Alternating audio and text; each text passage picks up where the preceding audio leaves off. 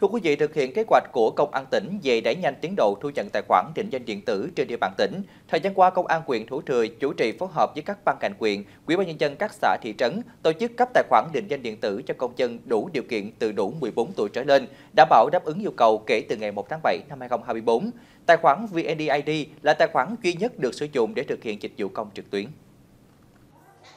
Để nhanh chóng triển khai thực hiện hoàn thành chỉ tiêu đề ra, huyện Thủ Thừa tăng cường công tác thông tin tuyên truyền nhằm giúp công dân hiểu rõ về tiện ích cũng như cách thức sử dụng tài khoản VNeID trong thực hiện các thủ tục hành chính. Đồng thời, Công an huyện Thủ Thừa tăng cường tổ chức cấp định danh điện tử tại Công an huyện Thủ Thừa và cấp lưu động tại 12 xã thị trấn trên địa bàn huyện. Công an xã đã rà soát à, trên phần mềm cơ sở dữ liệu quốc gia về dân cư các trường hợp à, công dân chưa được cấp tài khoản định danh điện tử thì qua đó thì lọc ra danh sách các ấp rồi phát hành giấy mời. Là nhờ hệ thống chính trị các ấp là gửi thư mời đến à, từng à, công dân chưa làm tài khoản định danh tử. Thì thời gian thực hiện từ lúc 7 giờ 30 đến 21 giờ.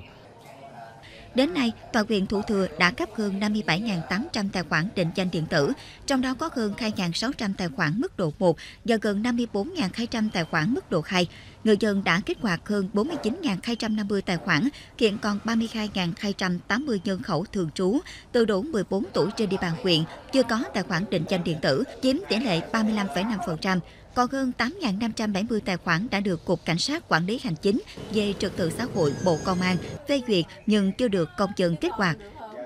Ờ, thực hiện cái dịch vụ công mà ở lĩnh vực cư trú trên ờ, dịch vụ công thì ờ, người dân thì chưa có nhận thức nắm được cái thao tác cụ thể do cái lực lượng công an xã phải làm thay cho nên tiến độ nó hơi chậm. Cho nên cái giải pháp tới thì à, chỗ lực lượng công an huyện Thủ Thừa tiếp tục tuyên truyền vận động cho người dân nâng cao nhận thức về cái tiện ích à, của cái định danh à, xác thực điện tử, vận động nhân dân sử dụng cái điện thoại và cái số điện thoại để đăng ký và cái kích hoạt cái định danh điện tử để thực hiện các cái thủ tục hành chính theo quy định của Bộ Công an.